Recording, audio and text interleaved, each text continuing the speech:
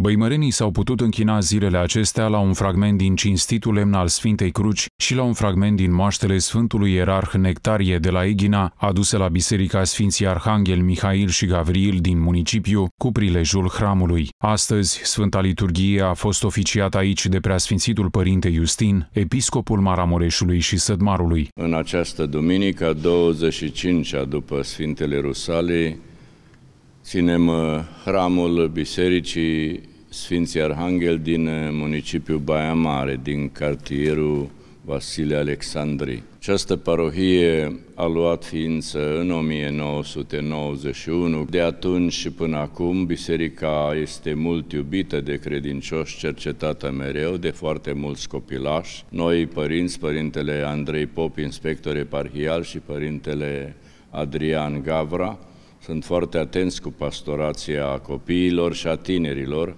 ne uitând și de grija pentru cei în vârstă, deoarece anul acesta a fost anul omagial al îngrijirii bolnavilor și bătrânii sunt mai totdeauna bolnavi, sunt ca și monumentele istorice care au nevoie mereu de întreținere și de multă îngrijire. Racla cu Sfintele Moaște și fragmentul din cinstitul lemn al Sfintei Cruci au fost aduse la Baia Mare încă de joi. Acestea vor fi duse și în unitățile medicale din municipiu. Mâine, împreună cu colegii inspectori din cadrul sectorului social filantropic al Episcopiei, vom merge în spitalele băimărene, în secțiile de paliație, în secțiile de oncologie, pediatrie și ATI, cu Sfintele Moaște, încercând să aducem puțină alinare și mânghiere sufletească bolnavilor care se află pe patul de spital. La finalul Sfintei Liturghii, Preasfințitul Părinte Episcop Justin a oferit ordinul Crucea Justinian Arhiepiscopul medicului Filip Tănase, colonelului Mihai Haiduc și comisarului Constantin Ilea. De asemenea, ierarhul a acordat diploma omagială ansamblului de copii Hori și Joc de la Palatul Copiilor din Baia Mare. Ierarhul a primit în dar din partea comunității o icoană cu chipul Sfântului Ierarh Nectarie de la Eghina.